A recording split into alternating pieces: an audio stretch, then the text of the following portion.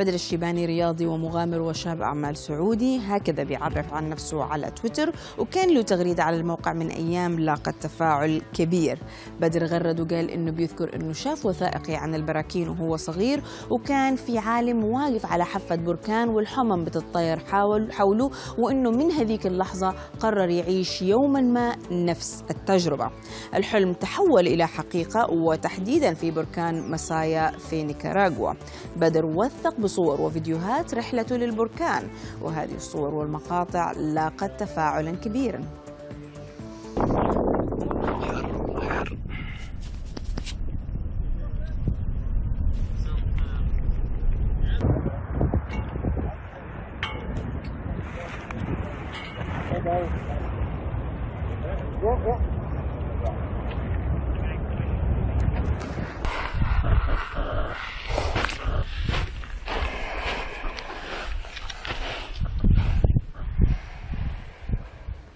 بدر خصنا في تفاعلكم بالمقطع اللي حتشوفوه واللي بيعطينا فيه تفاصيل مغامرته المثيرة.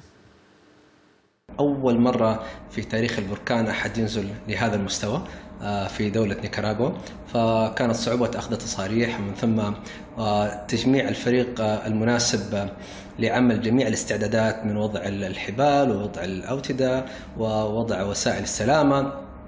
أخذت من الرحلة تقريبا أسبوع. طبعا شعوري عندما كنت متعلق بحبل على مسافة 20 متر من البركان. يعني مفردات اللغة العربية لا تستطيع أن تصف صراحة شعوري. يسموها الأدرينالين رش أو النشاط الدماء تضخ درجة المخاطرة عالية. لكن في نفس الوضع في نفس الوقت أقول سبحان الله التفكر في مخلوقات الله التفكر في بديع خلق الله التفكر فيما صنعه الله.